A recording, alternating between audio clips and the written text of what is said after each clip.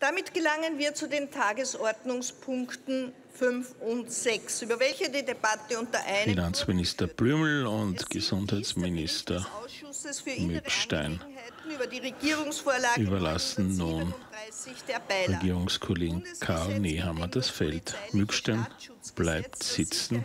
Polizeigesetz, das Strafgesetzbuch und weitere Gesetze geändert werden, 963 der Beilagen. Und der Bericht des Geschäftsordnungsausschusses. Erster Redner wird sein Nikolaus Scherak von den NEOS, er ist Demokratie- und Menschenrechtssprecher seiner Partei und der Vertreter im Innenausschuss. Verfassungsgesetz zur Stärkung der parlamentarischen Kontrolle des Bundesamts für Verfassungsschutz und Terrorismusbekämpfung 1025 der Beilagen.